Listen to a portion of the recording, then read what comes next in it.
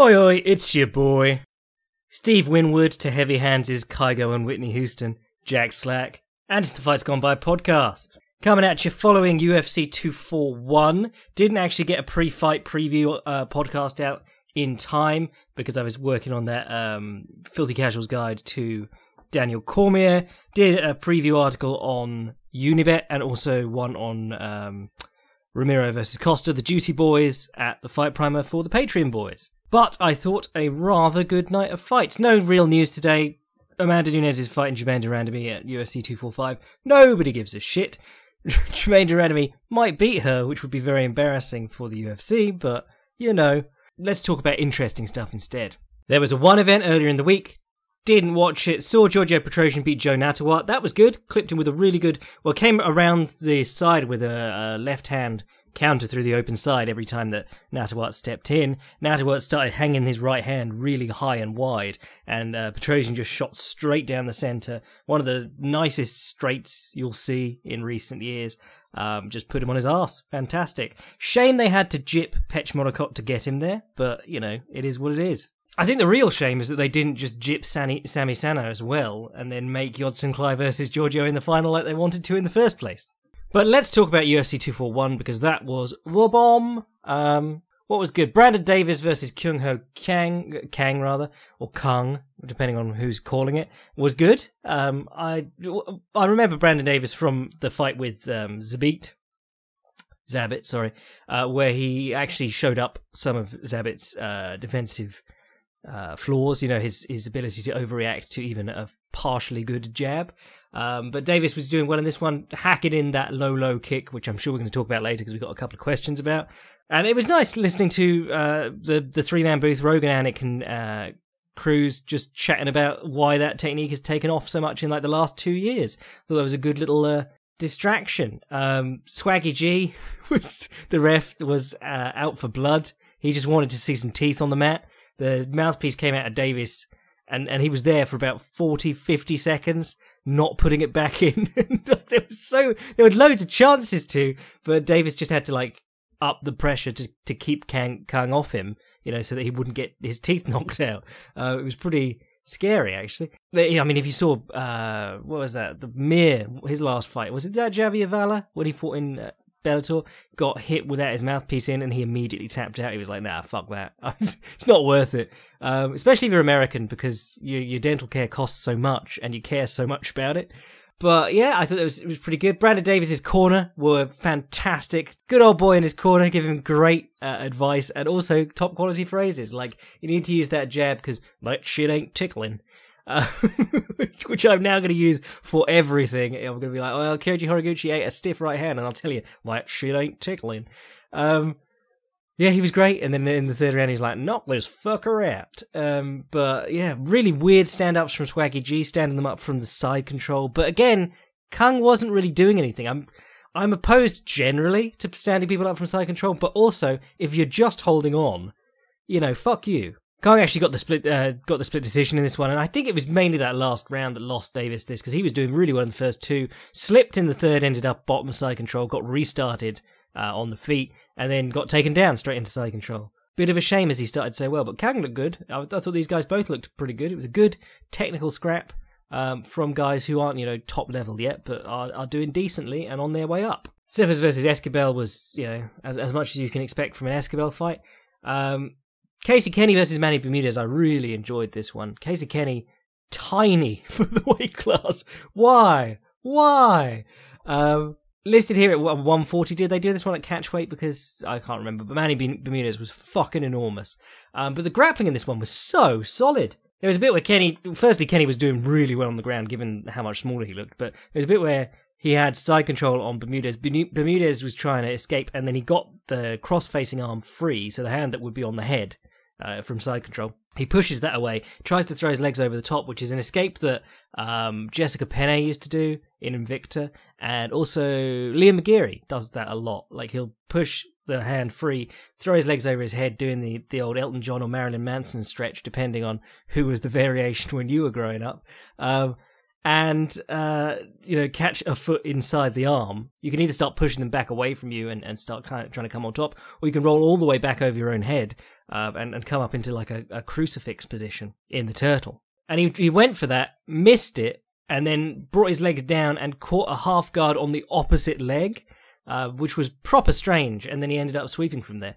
And there were all kinds of moments like that. It was really good. Um, the striking was a bit messy. Bermudez obviously hit a lot harder than Kennedy, uh, Kenny.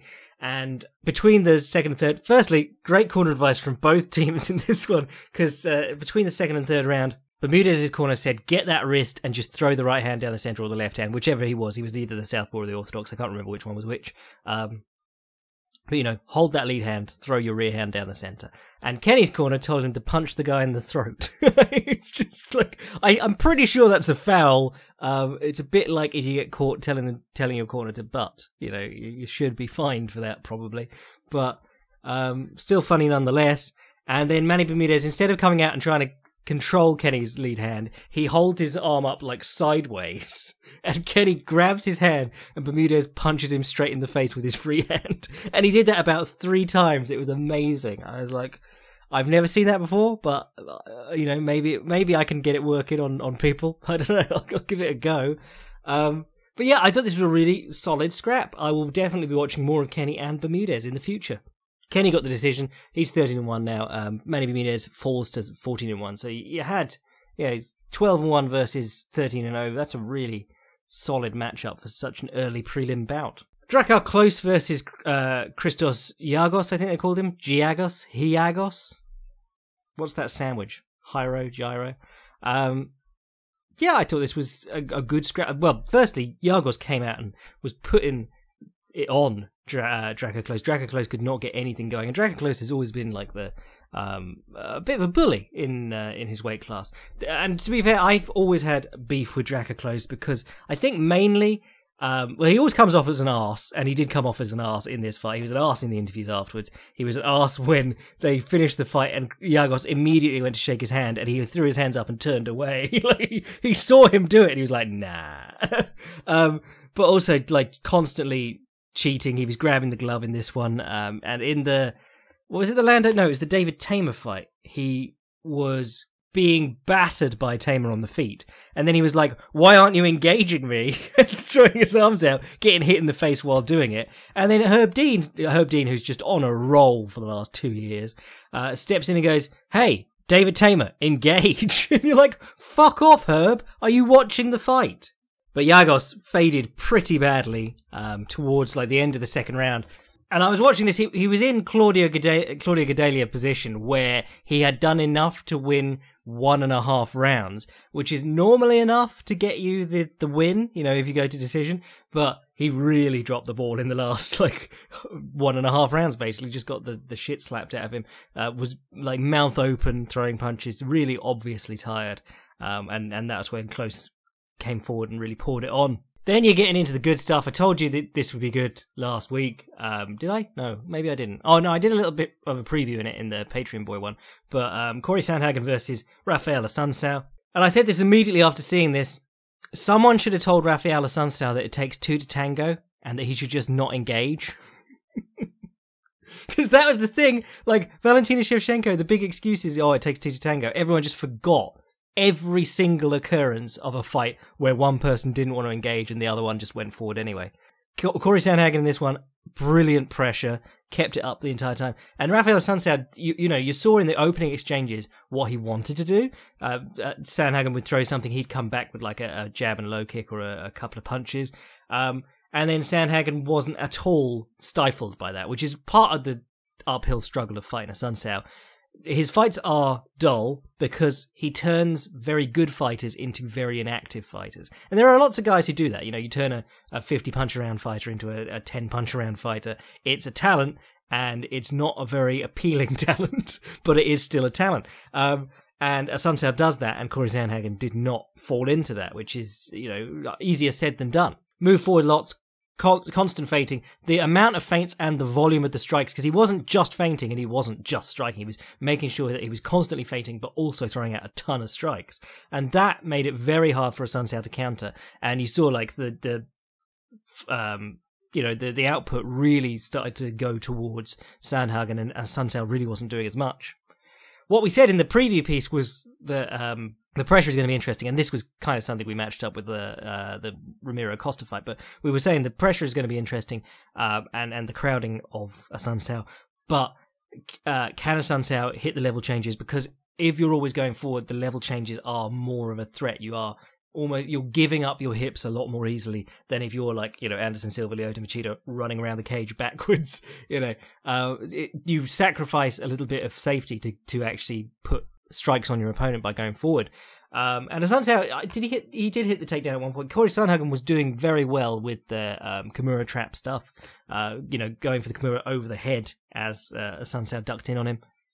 The grappling exchanges in was it round two because that was absolutely incredible. Um, it was it was really interesting. It divided the BJJ community. I was on the BJJ subreddit, and um, lots of people were like, "Wow, that was re- just really high level stuff." And uh, the general consensus is like, you know, no gi is a lot more flowy than gi anyway. You know, there there isn't that strict hierarchy of, of grips and stuff. Um, and also MMA with strikes is even more flowy, and especially with the ability to just get back to feet and, and break free, which is uh, you know half of anyone's goal when they're in a grappling exchange in MMA. And then down the bottom of the comment section in the badly you know, downvoted ones, it's full of blue belts being like, "What sloppy shit!" like, uh, really? Because I mean, there were some weird positions they ended up scrambling into. Like there was a, uh, he, it looked like he, uh, Assunção had, uh, he was reaping Sandhagen's knee, but he also had sort of like an omoplata. So it, there was the threat of the omoplata, but the knee was in the way, and there was the threat of the heel hook, but the arm was in the way. So he didn't really have anything, but he was like, "I've got to make something happen out of this." Um, there was an interesting one where Assunção went from um, De La Riva, and Assunção has an interesting guard. I said that in the um, Moraes fight, the second one, uh, even though he was hurt and he ultimately got choked. Was it choked? Yeah, he ultimately got finished regardless. But um, when he was hurt, he was playing a very good guard. He went from like uh, half butterfly to half trying to come up on the single, back to half butterfly, to butterfly, to full guard, to butterfly. And he was just switching between to try and make something happen. You know, he was either getting up or pulling the guy close and looking for the restart, or getting up. Um, and, uh, you know, he's always had an interesting guard game. He just, you just don't see a lot of it because, again, he has these fights where he's out at long range and not a lot is happening. Um, but he goes from the De La Riva and he does uh, what is quite a basic um, single uh, sorry uh, single leg I suppose but uh, sweep attempt from the De La Riva and it works a lot better in the gi because in the gi you take the collar grip.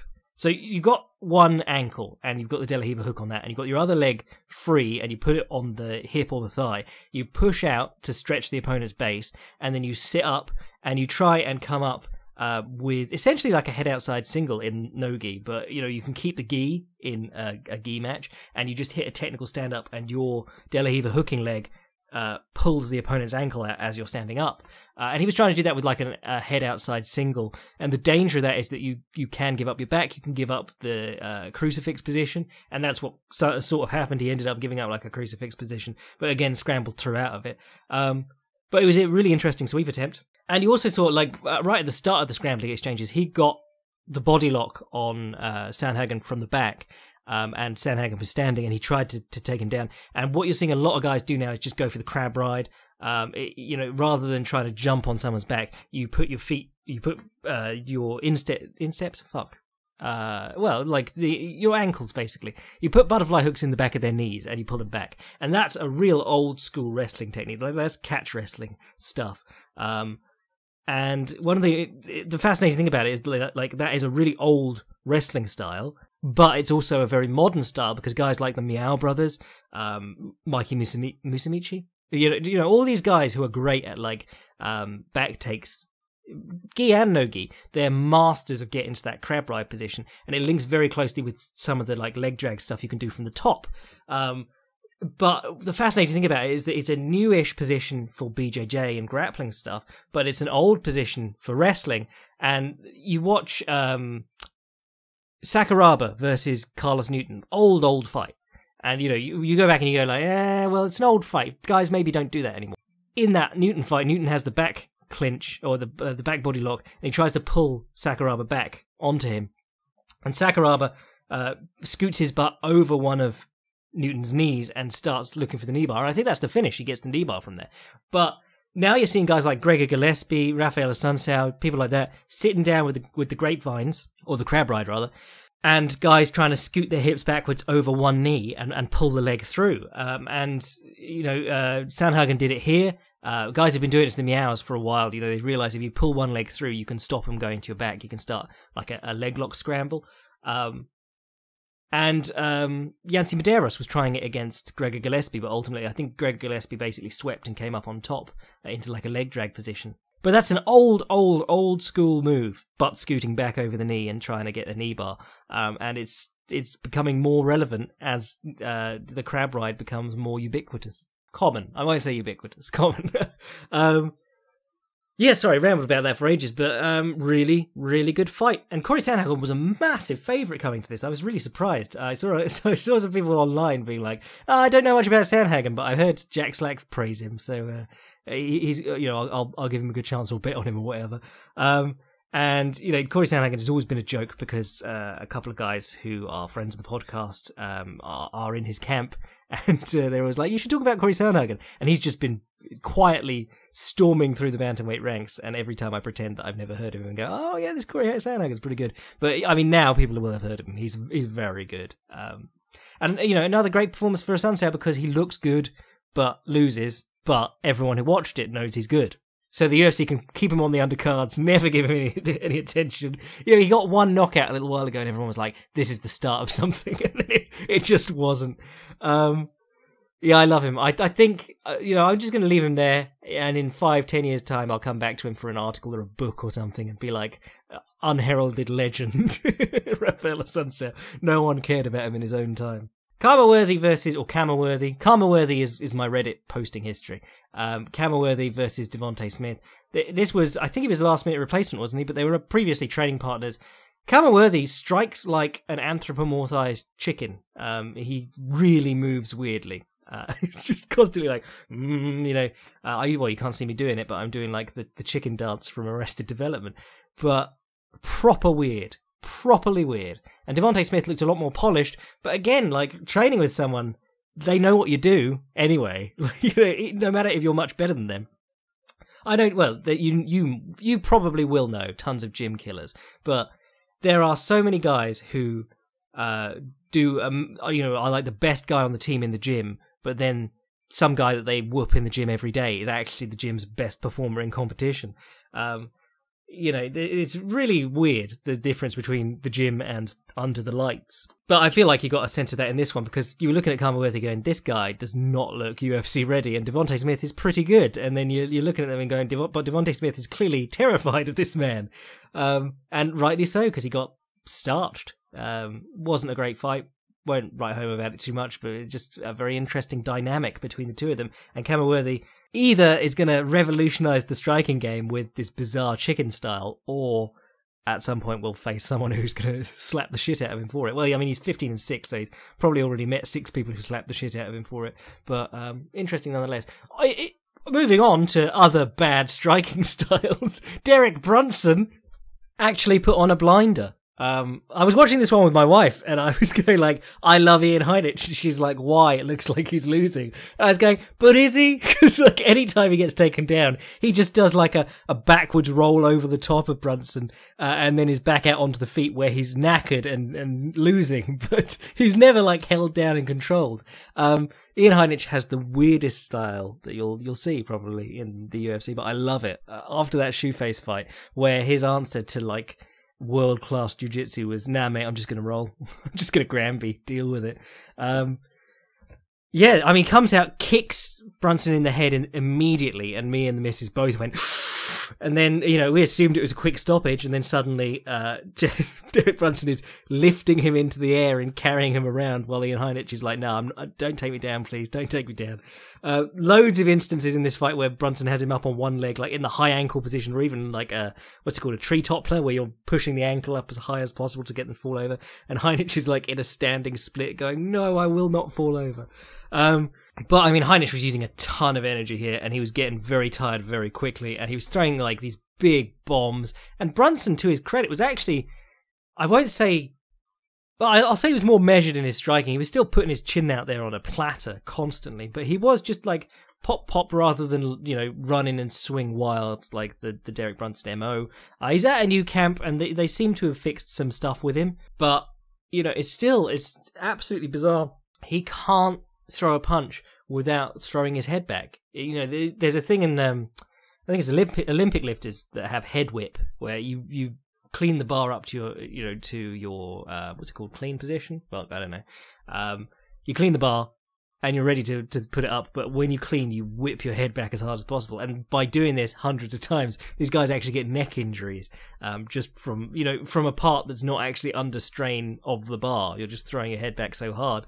Um, and he, he has that on his punches. I wish he'd stop doing it. It's, it makes me really angry watching it. It makes it hard to watch his fights. It's, even when he's putting in a good performance like this one, I like this is making me super angry. But I'm glad he's with the new team, and they seem to have got him out of the idea that just overwhelming people is enough because he got into the top 10 just overwhelming people. If you watch him against the scourge of MMA unions, Sam Alvey, fighting for the right to everyone not be paid equal, um, he uh, just ran in on him, just ran in on him, and he just kept doing it, and then eventually hammered Alvey with some punches hard enough to knock him down. He is scary enough that he could just fight in a way that is really shit and still beat the majority of the people on Earth. Um, which I mean will take us on to the main event in a minute. But uh, yeah, I mean, I'm glad that someone's actually doing something with Brunson that uses his abilities without being like just lean on this. You know, just the abilities. Fight however you want, and and we'll win somehow. Then you had Mr. Black Explosive himself, uh, friend of the podcast, Sodiq Yusuff versus Gabriel Benitez. Yusuff looked great here. It looked like a, a, young Sandy Saddler or George Foreman just went out, out, there with his palms out, parrying the punches, throwing hard bombs, landed a beautiful was a, a right hand counter over the top. I think there was another open side counter, can't remember, but it was a it was a lovely right hand. Put the guy down um, and and finished. And yeah, felt quicker than it was. Four fourteen. I was going to say it felt like it was two minutes, but um, good on Sodiq like I said, friend of the show and entertaining fighter. You know, sometimes we have friends of the show who are boring, and that's that's hard work. But you know, we've got a friend of the show who's interesting. We like that a lot. Right, Roydy Boys, Paulo Costa versus Yoel Romero. I got a preview article out for the Patreon boys on Friday, I think it was. And if you haven't read it and you are a Patreon boy, go read it because I think it was pretty. Um, I, th- I think I summed up pretty much a lot of the stuff that ended up being in the main playoffs of this fight. I said that Paulo Costa strikes me as an interesting. Well, firstly, I was like, you know, Yoel Romero, we sort of put him above the division now because he's so easily destroyed um, Rockhold and basically everyone else who's not Robert Whitaker. You know, I, I said I, in the piece, I was like, Robert Whitaker uh, beat Yoel Romero, but he handled Romero. He contained him and outmaneuvered him, whereas everyone else, Yoel Romero has just destroyed. That's you know, there's a clear difference in how they're winning. Um, and uh, you know what I was saying about this one was that I think Paulo Costa, if he fights how he has fought up to now, because uh, he could have got in there. I was completely prepared for him to get in there and be awed by Romero and get into a staring contest or like a, a slow pace kickboxing match, the kind that just doesn't favour him at all. But I said if he fights the way that he has fought, um, he provides a very interesting test for Romero because Romero's thing is being left alone. You know, he, the reason that he's so scary is that he's so explosive, and you're like, but he doesn't get tired. And a lot of why he doesn't get tired is because he's left alone for long periods of the fight, where he just sort of dances around the cage. You know, there was a whole round in the second Whitaker fight where he didn't throw anything, um, but Costa got on him from the opening bell, pushed him back, hit him with the body kicks into the swinging combinations, throwing constant body punches. Um, clearly, Romero got tired quite early, but by the end of it, I mean, Romero was coming back because Costa was even more tired. It was very impressive um, performance by Costa, but then, you know, very impressive performance by Romero to get back in it. Annoying thing where Romero keeps sticking his tongue out. Some people speculating that he got hit hard in the jaw early on. Could be, actually. Um, but it, it just looked like I, am really not tired. I'm pretending to pant to play up the fact that I'm not tired. But I mean, mad impressive. Like Romero took him down. He got in on his hips perfect in the in the first round, in like the first exchange of the first round. And Costa was just like, nah, not having that. doesn't matter that you're Olympic caliber wrestler and have been doing this your whole life. I'm not having it. Um, so what I said going into this fight was like, the thing about Romero is that, especially if you're put on the cage, there's some subtlety needed there. You know, some guys counterpunch off the cage, but you shouldn't. It's not really reliable if you're dealing with a guy who's going to swarm in with volume and hit your body. Most importantly, you know, if you're just standing there moving your head and they're punching only at your head like Anderson Silva, um, then you're all right. But even Anderson Silva put against good people like Costa would have real trouble along the fence. Um, you know, watch the fight with Michael Bisping. It's not Michael Bisping being magic. It's Michael Bisping mixing up his targets, throwing feints, showing him different looks instead of just swinging for his head. Um, that means that Silva can't really counterpunch off the fence.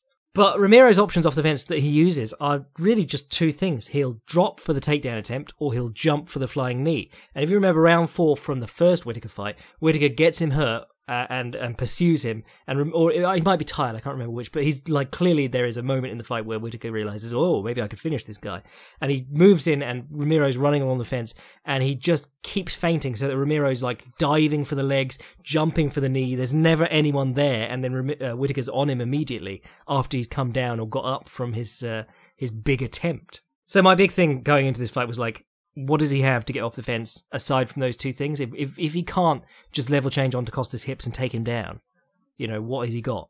And of course, that Costa doesn't run onto a flying knee. I mean, the main thing that I got from this fight is that, like, you know, cancel USADA, mate, because it was so much fun. Um, just big roidy boys swinging at each other. Uh, I was just going to my wife, how old do you think that guy is? Gone. How old do you think he is? And then uh, she'd go like, oh, I don't know, you know, 30. And I go, no, 40. Ha! And then they go, Yoel Romero, 42. And I'm like, oh, for fuck's sake, this is getting ridiculous now. You know, Randy Couture at 46 on all the roids in the world still looked very deflated. Uh, probably on all the roids in the world. Well, you know, they weren't tested back then. Um, his nickname was the Natural. Oh, anyway, uh, moving on from the Roidy Boys, someone made a really good um, pre-fight hype package about this, with just like Joe Rogan and Brendan Schaub jizzing themselves over these two guys and how big they are. Um, and then I'm watching it going, this is hilarious. And then midway through, I hear my voice going, he is the juiciest slut on the roster. Um, and if you're arguing that they're not on drugs, you're really just arguing that they haven't failed the test. And I, I don't know if I continued to say this in the in the actual podcast, but you know, they actually both have failed tests. A great thing to remember just before this fight. Paulo Costa got caught using an illegal IV. That is not a big offense. That's, you know, if you're using an illegal IV, that's just rehydrating, technically. I mean, you hear stories about, I think it was Floyd Mayweather ran to get like two IV bags and squeeze them into his arm when you saw them coming. Can't remember if that was Floyd or someone else. But um, illegal IV, generally not a huge deal. But Paulo Costa gets a reduction in his sentencing for a for a uh, IV use for giving information. So you're like, what fucking information does he have? I could make a saline drip. I could probably MacGyver a saline drip out of the Evian water bottle that I'm looking at, and I don't know, a piece of tubing. Uh, like the idea that USADA got information from him that's so important that they could reduce his sentence, but also that he's not doing drugs. I mean, how stupid do you have to be? I just want to ask USADA, you know, sorry, what information did you garner from Paulo Costa that, that helped you with your investigations? Given that he is, you know, completely clean aside from uh, an illegal IV. Anyway, Nate Diaz versus Anthony Pettis. This one wasn't quite the banger that people expected because I expected um, either Pettis to find that leg kick early and Diaz to just do another stumbling towards his man and falling over performance, or I expected Pettis to just melt, um, you know, like he often does. And, uh, you know, I think it probably was the three rounds that did it. Five rounds, I think you'd probably see more time for one of those things to establish themselves. And it looked more like Pettis was going to melt. Something I was surprised that no one really commented on in this fight, and I think it kind of got missed because Pettis switches stances so often. Um, but Diaz was fighting from orthodox at range and then doing a big step into southpaw to get inside so that he was never uh, it, it, seemed as though it was so that he was never southpaw um, while in low kicking range um, which i thought was really quite clever. Uh, you know he, so basically uh, you know it, it made for kind of an ugly fight because it was just him sort of stepping in on his man and no one really landing anything until they were in close. Um, but it, it just meant that his main stance was never compromised by taking low kicks. And he didn't even take that many from an orthodox stance. He actually checked one, and I think it broke Pettis' foot.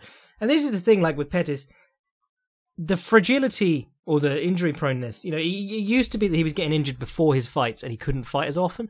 Now he's getting injured in the fights, and it tends to like you know. I'm not going to accuse anyone of making excuses, but there is always that thing at the end where it's like, well, he did break his rib. hand, foot, whatever. Um, you know, he's getting injured quite a lot, and some of that's probably luck. But again, like you just maybe at that point it's time to say, okay, maybe I shouldn't be fighting anymore or, or getting hit professionally anymore. Um, I think when your own um, striking surfaces are the things getting injured, that's problematic. That's a real problem. Uh, you know, how many boxers have you seen like their career completely change basically by getting brittle hands? Uh, and now Pettis is he's got one hand that apparently was becoming a problem breaking, and now he's just broken his foot. So um, not great. And that was one of the things I was saying when we were talking about like the the, the preamble to this fight. I was saying, you know, if Diaz is is pressuring into on the fence. One of the things that Pettis has never been able to do really well is just blast dudes off him. Um, because uh, we were talking about like you know, uh, Yoel Romero has flying knee drop on hips, but even beyond that, like you know, there's there's clever circling and stuff. Eddie Alvarez is the king of getting off the fence, um, but even then, if you can just grit your teeth and throw a couple of hard punches to get the other guy off you, you know, it's not. The thing is, like, if you move one way, get them swinging, and then move back the other, that mechanically works. You know, if they are swinging to where you're going to be over there, but then you change direction, they aren't going to be able to catch up with you quick enough. Um, hitting someone as they're coming in, you are at a mechanic, you know, you're at a technical and positional disadvantage because you're being backed up, you're along the fence. Maybe your stance is shortened a bit, um, and and they're coming in and they've got all the advantages basically. But if you hit them decently, you've got a chance of affecting their um you know their mind a little bit making them think fuck that hurt. That it was supposed to be easy just walking in on on the fence over there. Um so if you can just crack people hard coming in that's always a good get out of jail free card or at least you know buys you some time between exhaustive attempts to circle out at speed. Um and Pettis has never had that. Like he's never really been able to punch people off him. And that really was obvious against um, Rafael Dos Anjos, who just didn't give a shit. He moved in, smashed him with like three punches to the body, and then Pettis would punch back as hard as he could, and, and Dos Anjos would just put his guard up and be like, yeah, whatever, and then move back in. Lots of cool infighting stuff from Nate. You know, he's a good infighter. He's one of the few guys that I show quite often because of especially those McGregor performances where he free uses his head to free his arms and then hits the body along the fence. Lovely stuff. Good with knees along the fence. Uh, hurt McGregor with a knee along the fence. Had Cerrone with like a single underhook pin and just hit him with like 50 punches in the face along the fence, but one of those ones where it's like in front of your own head, so it doesn't really actually do much. But yeah, good infighter, and he did good infighting in this fight. I thought the Pettis guillotine looked sharp, and uh, you know I said this at the end of my article. I was like, I don't expect extended ground sequences from these two, but it'd be really fun if they did. and you know the the bits that we got on the ground were really fun. Right, so main event time. Uh, a lot of people loved this fight. I mean, it was fun, but I'm gonna say that it was a mess. Um, basically, Stipe Miocic fought the worst way he possibly could for three rounds, and then found something that he should have been looking for the entire fight in the fourth round. And it was very clear that he'd only just hit on this rather than been training for his entire camp because he was so surprised it worked that he just did it over and over again with no setup, little variation, just over and over again. Now, I did the Filthy Casuals guide to this, but I also did a Unibet article. In the Filthy Casuals guide, I just covered like the basics of how the Cormier Mummy Guard stuff works. In the Unibet um, article, I talked about how you know, I, I said in the um the Filthy Catcher's guide, I said you know it, it, creates other openings. You know, it is to shut down one thing, and that you know that we were talking about how like it's not great for boxers to to bar punches anymore because it doesn't give you a lot of counter punching opportunities. The reason it works for Cormier is because he's just looking for the clinch, and it also opens up a lot of other openings on you when you're doing it. Um, and then in the Unibet article, we actually talked about those openings. The body obviously completely open uh, and the legs are very vulnerable because he's always like side on, reaching out for dudes. But you know, so we were saying Stipe Miocic should be targeting the body, ideally left body kick, lots of low kicks. Um, he did hit a nice knee to the body in one round, and I was like, oh, now it's starting, and then he didn't do it for another like 15 minutes. Um, and you know, but hooks to the body and uppercuts to the body should have been the go-to because Daniel Cormier's ha- and uh, someone was saying to, the, to me um, I've seen a few people saying like, why wasn't he jabbing? And you're like, the one thing that Daniel Cormier's guard, that reaching stuff, is set up to do is to stop straight hitting. It wasn't Stipe trying to hand fight that was getting him beat up. It was that he was trying to jab, and that was getting him into a hand fight. You know, the one thing that Cormier is set up to shut down Stipe came in and tried to do for three rounds and, and utterly failed.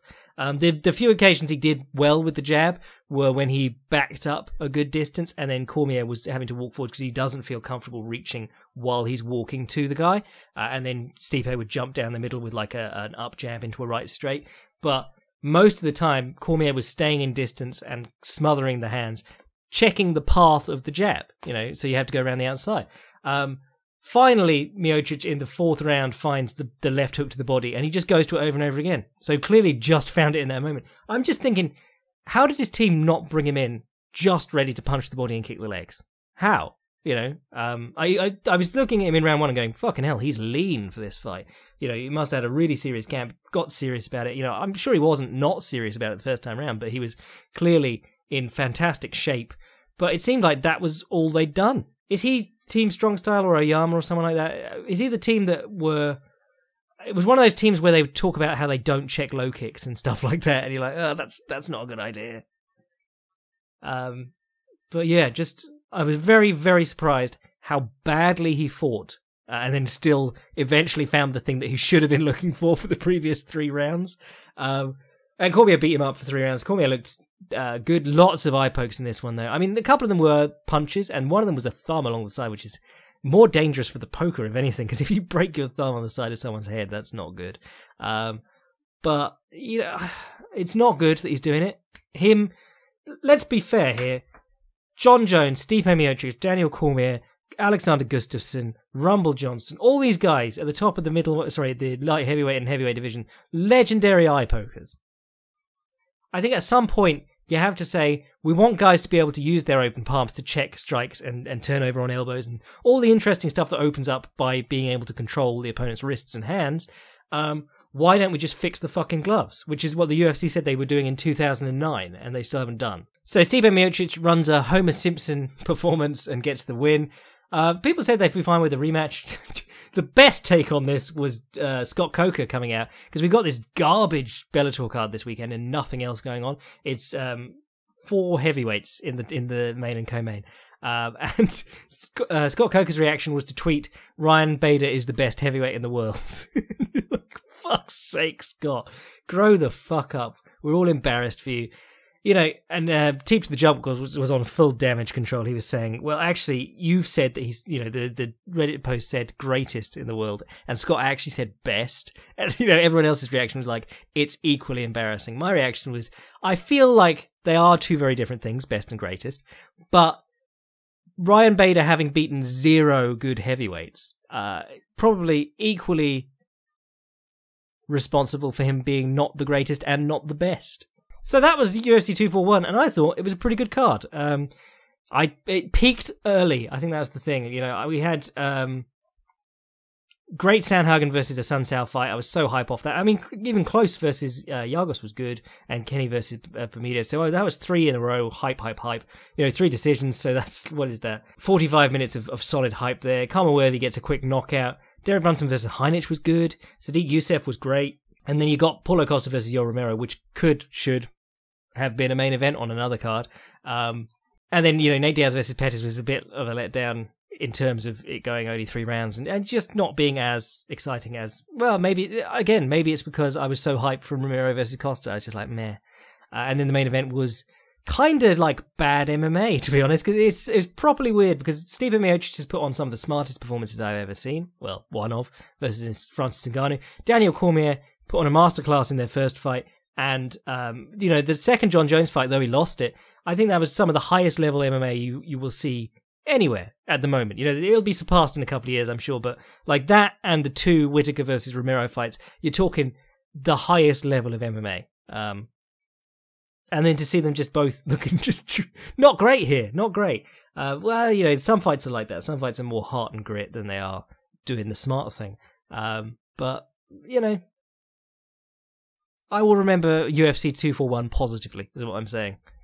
Right, let's do a couple of questions before we get out of here for this week.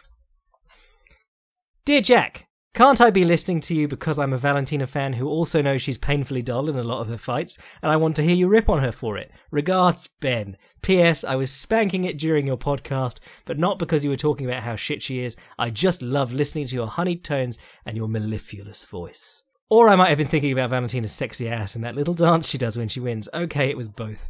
Thank you, Ben. I just wanted to read that out because it was fun. Um, hello, Mr. Slack. I'm a fairly new fan to MMA and a recent fan of yours as well, so I may be asking a question without really knowing what I'm talking about here. But this has been the in the back of my mind for a few weeks, and I would love to hear your take. Not to beat this Luke Rockhold thing to death, he almost has been at this point.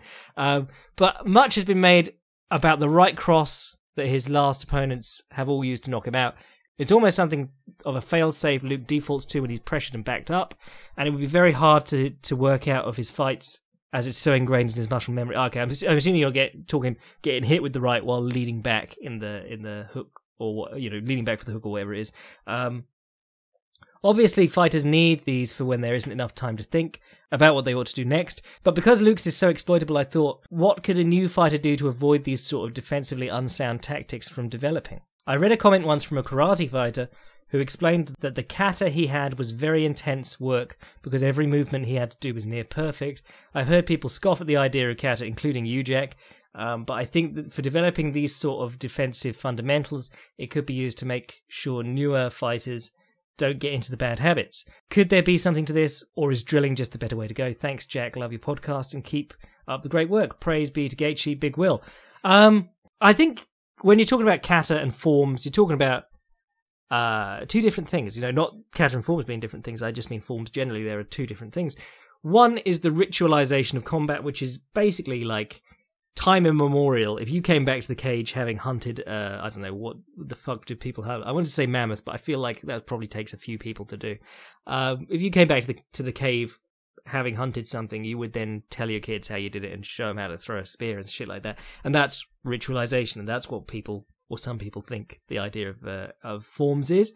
Uh, the other is to hide techniques in plain sight. So you basically you'd have someone working on well in like um, Okinawa, you you would work on your Naihanchi or your Tekki or whatever you want to call it, kata, um, for three years on one, and then you would be shown like two man drills for how the the moves you've been doing, which are which are you know pretty impractical on their own, how they fit in with actual habitual acts of violence. So ultimately, you're doing the moves, but in a way where you don't actually learn anything from them until the guy who's teaching you wants to show you what they mean.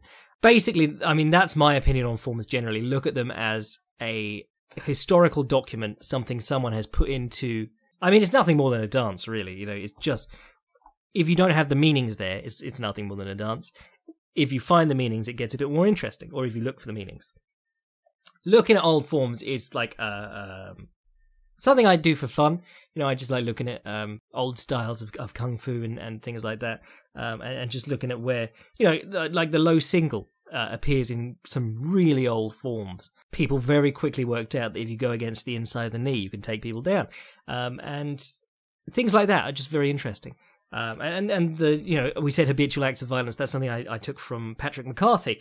Um, but habitual acts of violence are things that are fairly common attacks that can be anticipated, and a lot of them are like regardless of culture. You will find people grab you by the lapels or by the hair or by the throat, you know, in very similar ways. So a lot of forms have very similar um, ideas from their attackers and that stuff. You know, when you're talking like stepping punches and stuff, you're talking like eh, that's not really very interesting. But um, in terms of what you're talking about here, there are already uh, forms and, and rituals for developing uh, to prevent yourself from developing bad technique, and that's shadowboxing. You know, that's what you should be doing all the time. Shadowboxing admits and and well, sparring is really just like the step before fighting. That's really pressure testing stuff.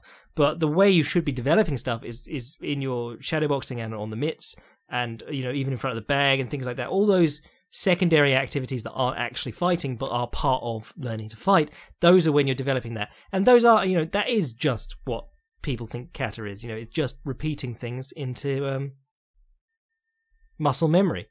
I don't know what it is about Luke that makes him do like the lean back. Well, I do know what it is about Luke that makes him lean back for the check hook. It's worked for a very long time. You know, he he ran through Strike Strikeforce, got through to the UFC Championship without ever meeting anyone who could exploit it.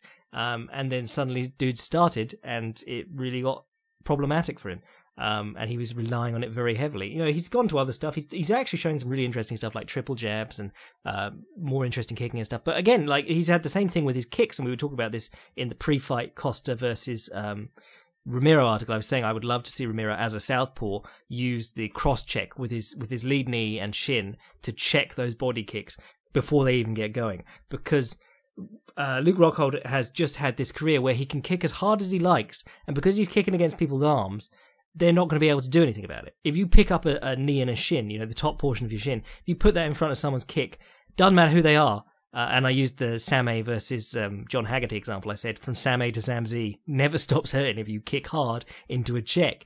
Um, I think a lot of what is wrong with Luke Rockhold, and I say wrong, sorry, I, I think a lot of what is is a problem for Luke Rockhold has become a problem because it's worked for so long. I, I feel like if no one is punishing bad habits, they become habits. You know, like that's that's the thing. It's going to take some time to train that out of him, and I don't know if he's got uh, good enough coach. Well, not good enough, but I don't think he's got. I don't know if he's got harsh enough coaches to to actually train it out of him. Plus, the fact that his chin is clearly somewhat giving out now. I mean, that's uh, probably a bigger problem because he could start fighting perfect fights. I thought he looked pretty good against um, until he got cornered, but he could fight perfect fights and then still just get clipped and go unconscious. You know, at some point the chin is an issue. Anyway, cheers, Will. Jack, could you talk about the classic low kick to the thigh compared to the low low kick to the calf? What are the advantages and disadvantages of both, and how do they compare to each other? I've been I've seen it suggested that the low low kick is just superior, and that fighters should only be throwing these to the legs. What do you think? Cheers, cheers, Jack. Oh, it's from another Jack. Okay. Um, I think we probably talked about this a few times before, but part of why the low low kick isn't a thing in like Muay Thai is because the longer stance in, in MMA and the heavier stance means that it's there. I mean, Dom Cruz said this the other night too, but um, I'm just repeating it again. We've we talked about it before. Dom Cruz did. I'll just just be clear. Um, but one of the interesting things about the low low kick is that basically the closer you get to the knee, the harder the surface you're kicking.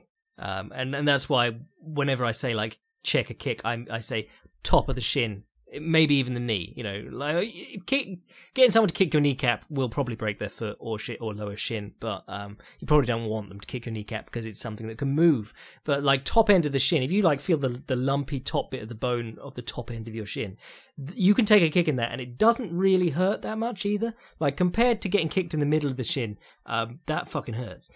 But uh, you know, you'll hear basically anyone who knows what they're talking about with with checks they'll say this like you know check lower down the shin in training and try and check as high on the shin as possible um, in in fights. But you know the check is something you know you're not actually attacking someone with a check. A check is really only as punishing as the opponent kicking you uh, or as the, rather as the opponent's kick is because you're making them kick into a hard surface. Uh, you are just being the hard surface. The the thing about the low low kick is that it's already below the knee.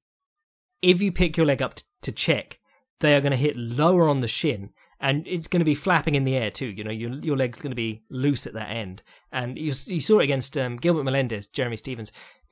Gilbert Melendez was kick, picking his leg up to check, and Jeremy Stephens would just, just go straight through, like at his ankle, just clack straight through it. And uh, Gilbert Melendez would put his leg down, and it'd just be dead, and he'd fall over you can't lower your leg to check kicks. So if you start lower than what would really hurt if they checked it, you know, anytime they pick their leg up, you're just going to hit something softer underneath. So that's one advantage of the low low kick.